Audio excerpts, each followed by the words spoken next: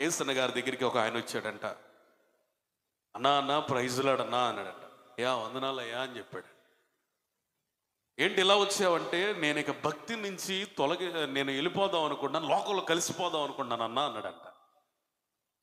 ఏ ఏమైంది నీకు? ఇప్పటిదాకా బాగానే ఉన్నావు కదా? పోయిన ఆదివారం కూడా మందిరానికి వచ్చావు కదా? ఎందుకని భక్తుల నుండి వెళ్ళిపోదామని అనుకుంటున్నావు? అని అడిగాడంట. లేదన్నా నువ్వు ఎన్నన్నా చెప్పు. నేను లోకంలో కలిసిపోదామని ఫిక్స్ అయిపోయాను. ఎదుటోడు చూస్తే ఓర్చుకోలేకపోతున్నాను. అసూయ వచ్చేసింది. ఇంత భక్తి చేస్తే నాలో అసూయ స్వభావం ఏంటి కోపం ఏంటి? పరిశుద్ధత లేకుండా జీవిస్తున్నాను. నాకు దేవుడు ఏం చేశాడు? జీవం కలిగిన దేవుడిని నమ్ముకుంటే నాకు సరైన భక్తి రాలేదే? అలాంటప్పుడు ఈ దేవుడిని ఎందుకు నమ్ముకోవాలి? ఒక ఒకవేళ దేవుడే నాకు తోడుగా ఉంటే ఈ అప్పులు ఎందుకు ఈ కష్టాలు ఎందుకని? ఆయన ముందే సణుగుతూ భక్తి మార్గం నుంచి తొలగిపోతానని చెప్పి మీతో ప్రార్థన చేయించుకుందామని వచ్చాను అన్నాడు.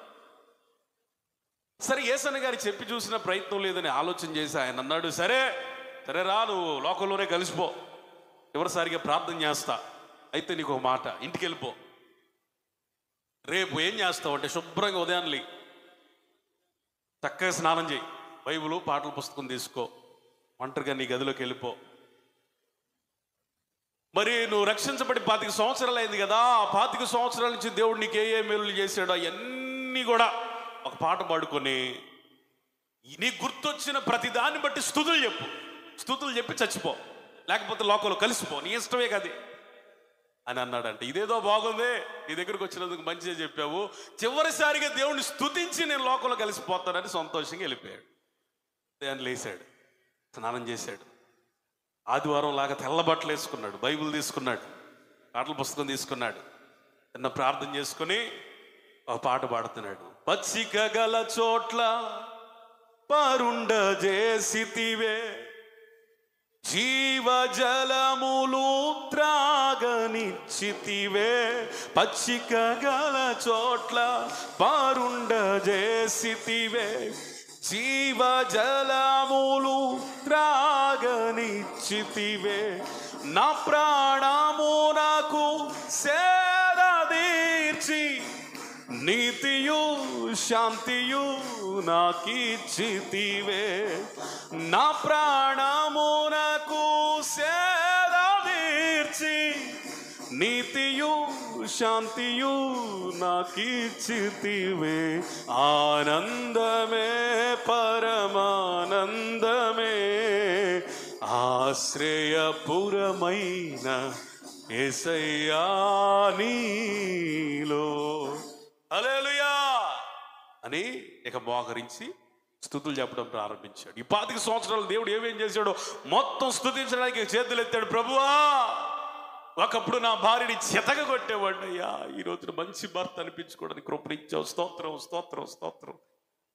ఒకప్పుడు ఎన్నో అప్పుల ఊపిలో నుండి వచ్చాను. ఈరోజు చిన్న అప్పుకే నేను నీ మీద సణుక్కుంటున్నాను. గడచిన కాలంలో తీర్చిన ప్రతి అప్పును బట్టి నీకు స్తోత్రం స్తోత్రం స్తోత్రం అనుకున్నాడు ఒకప్పుడు తినడానికి తిండి సరిగ్గా లేనటువంటి పరిస్థితుల్లో నా బిడ్డలు కడుపు నిండా అన్నం పెట్టడానికి నన్ను మంచి తండ్రిగా ఉంచావు. నీకు స్తోత్రం స్తోత్రం స్తోత్రం స్తోత్రం.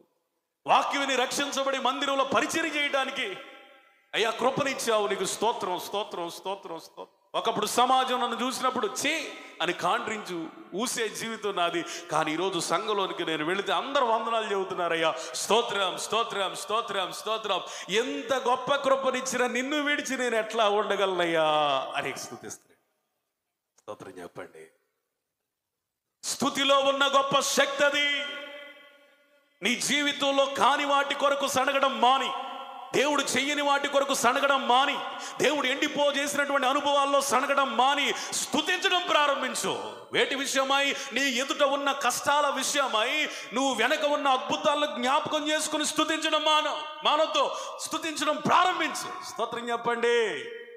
నీ ఎదుట కష్టమే కనబడుతున్నా నీ కనబడాల్సింది నీ మనోనేత్రాలు తెరవబడవలసింది నీ వెనక చేయబడిన అద్భుతాల విషయమై.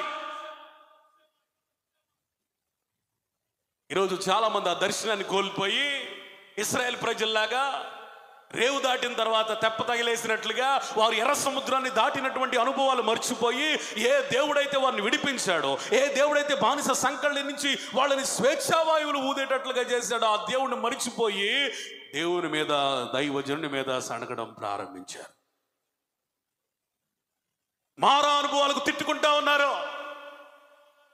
వీళ్ళు తిట్ట తిడుతున్నారు సణుగుతున్నారు నాయకుని మీద గొడుగుతున్నారు వారి పరిస్థితిని బట్టి వాళ్ళని వాళ్ళే శపించుకుంటున్నారు. కానీ వాళ్ళు చేయనిది ఏంటంటే ప్రార్థన. ఈరోజు సంఘాల విశ్వాసులు కూడా ఎట్లా తయారయ్యారంటే కష్టాలను బట్టి సనగడం గొనగడం బాగా అలవాటైపోయింది.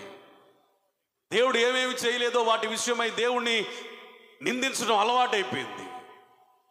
దేవుడు నీ జీవితంలో ఎండిపోజేసినటువంటి అనుభవాల్లో నువ్వు ఎట్లా నడుస్తావో పరీక్షిస్తున్నావో దేవుడు పరీక్షిస్తున్నాడనే సంగతి మరిచిపోయి దేవుణ్ణే పరిశోధించడం ప్రారంభించారు. నిజంగా నువ్వు ఉంటే అన్నట్టుగా.